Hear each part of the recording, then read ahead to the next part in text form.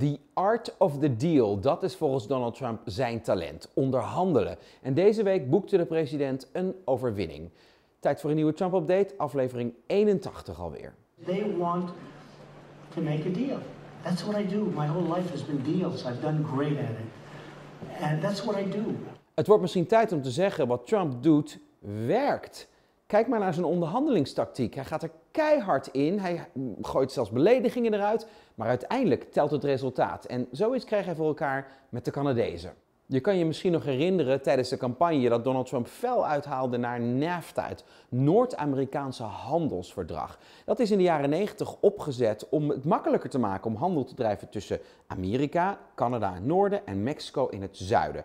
Het werkte, het leverde rijkdom op, maar ook verlies van banen. Want Mexico is een laaggelonenland en heel veel fabrieken in Amerika besloten om de boel te verplaatsen naar Mexico, zodat het produceren van die spullen goedkoper zou zijn. Nou, Trump zegt ik wil die banen weer terugkrijgen naar Amerika en eiste dus een heronderhandeling van dat NAFTA-akkoord. Our factories have left our country, our jobs have left our country for many years. NAFTA has been a disaster.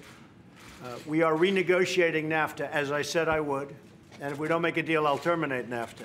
Trump is niet bang om de confrontatie aan te gaan. De andere handelspartners hadden niet zo'n zin in een grote aanpassing aan NAFTA. En dus ging Trump er hard in. Hij noemde de Canadese president Justin Trudeau verraderlijk en heel oneerlijk. Hij kondigde nieuwe tarieven af op Canada. En hij maakte een heel groot punt van de zuivelindustrie. Kijk, andere presidenten ergerden zich er ook aan dat de Canadese Amerikaanse zuivel buiten het land hielden om de Canadese zuivelindustrie te beschermen.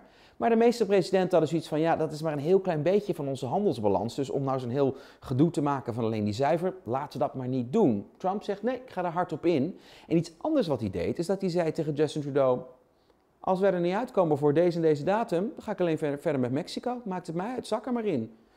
Of het werkt of niet, voor die datum die Trump had voorgesteld, lag er opeens een akkoord. En dit zegt de Canadese onderhandelaar. we are really happy to have concluded this modernized deal with the United States and Mexico. And, you know, our approach at the table is to make that point, to explain that this is about mutual benefit to all the parties to the agreement.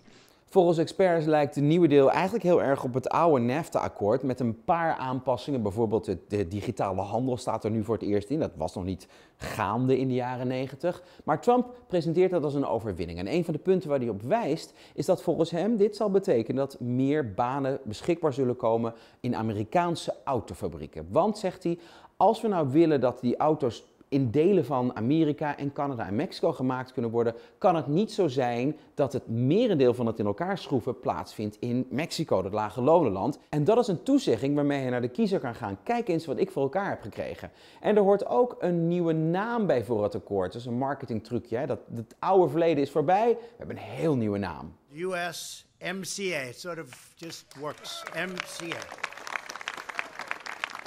US MCA. Kijk, een deal bereiken met je bondgenoten, je buurlanden, dat is één ding. Maar de vraag is, hoe zal het gaan met de Chinezen? Dat is echt een veel heftiger handelsoorlog hoor. Maar dit is wel kenmerkend voor Trumps opstelling in dit soort onderhandelingen. Heel hard van stapel gaan, vervolgens inbinden en een overwinning verklaren.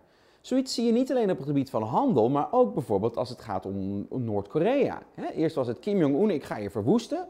Vervolgens was er opeens die topontmoeting. En nu zegt Trump, oh we zijn eruit, het is allemaal helemaal geregeld. Terwijl experts zeggen, nou zo heel veel heeft Noord-Korea niet veranderd aan zijn kernprogramma.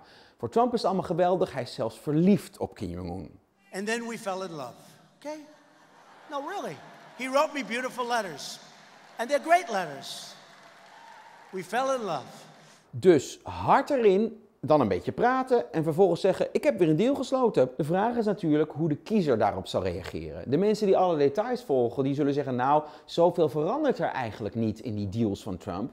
Maar heel veel andere kiezers zullen zeggen: Hey, hij belooft een heronderhandeling en dat lukt hem. Hij levert. Tot zover deze Trump-update. Ik zie je heel graag volgende week.